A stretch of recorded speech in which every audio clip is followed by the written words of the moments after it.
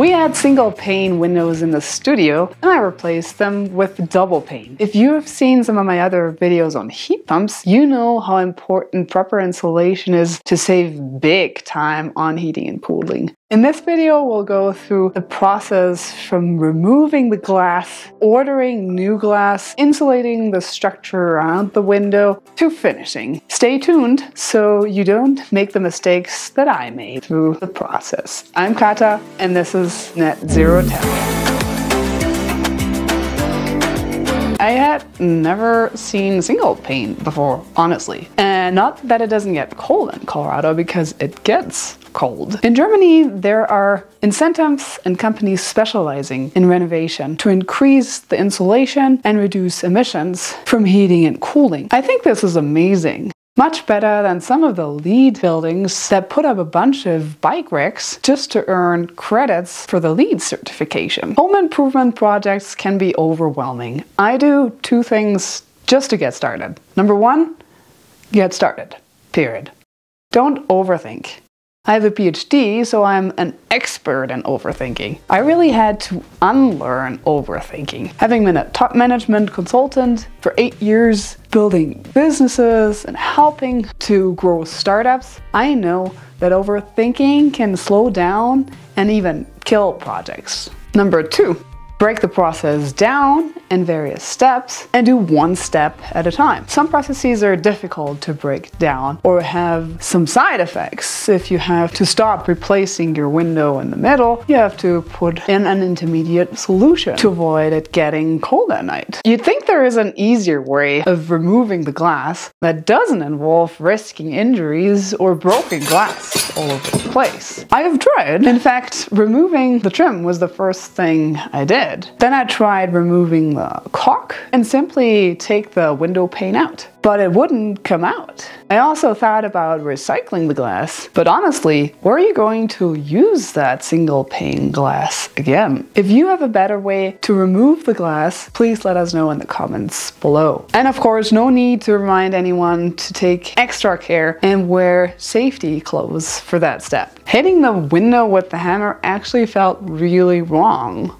It's like trying to pee in your diapers on purpose when you're on a long soaring flight. If your glass is already broken for some reason, this step might actually be easier. Make sure you have a wood board ready until the glass is in, or do it on the same day. Our neighbor Ralph played a key role in providing tools and advice for this. I couldn't have hoped for better support for this and many other projects, such as our solar panels and electric heaters. Ralph also helped me to get a beautiful pattern into the finish. If you have a time in mind how long your project is going to take, I'd recommend multiplying that by two and adding another 50%. Once I had removed the window panes, I realized there was some rotting going on with the wood supporting it. So I replaced that as well. And while I was on it, I took the opportunity to add some good insulation to the structure. I used R38 fiberglass batts for insulating the structure below the windows. It's not terrible, but it's also not great. If I were to do it again, I'd first use foam spray and then hemp batting. Keep in mind that your insulation is about as strong as your weakest link, and the ceiling ideally has an even higher R value than the walls. You can look up the recommended R value for additional insulation based on your climate zone and existing insulation, for instance on governmental websites.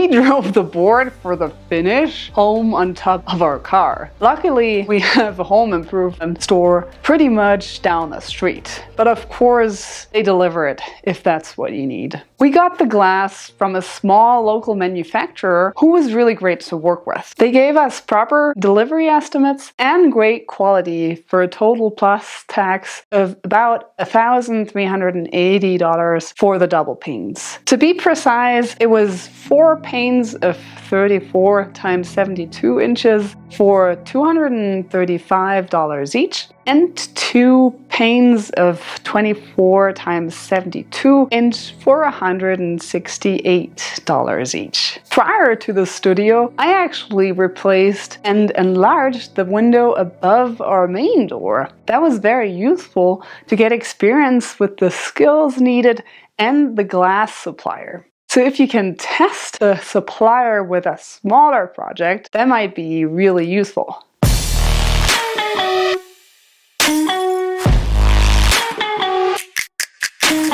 Before you put the pane in, make sure the old caulk is completely removed and you have clean edges all around. Put foam window seal strip or the like on the bottom to place the pane on top. Then put one layer of caulk in the frame on the outside of the pane. When you put the pane in, you want caulk and shims ready, especially if you have a tilted wall like ours. A continuous caulk enclosure around the pane does not only hold the pane in place, it also is important for insulation. You definitely want to avoid any draft whatsoever. To get the trim back on, a friend of mine lent me a nail gun, which I found ideal. It was very easy and really fast. Depending on the season, I did this in April and depending on how well you close up the envelope of your building during the project, you might get unsolicited visits from fellow Earth inhabitants. For a single pane, it pretty much is obvious that it needs replacing. If you have single pane though,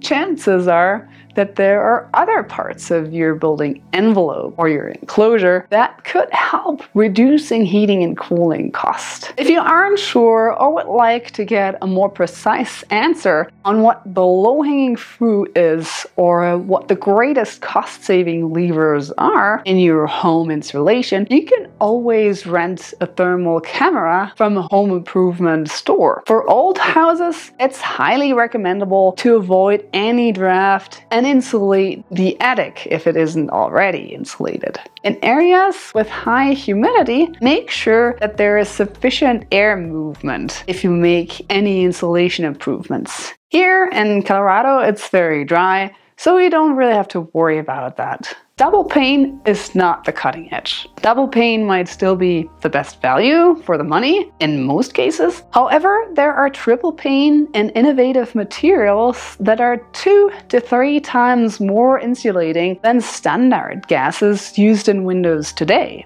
And they are getting more affordable as we speak. Thank you so much for watching. If you liked this, give us a thumbs up. Don't forget to subscribe and consider supporting me on Patreon. Have a great time and see you in the next one.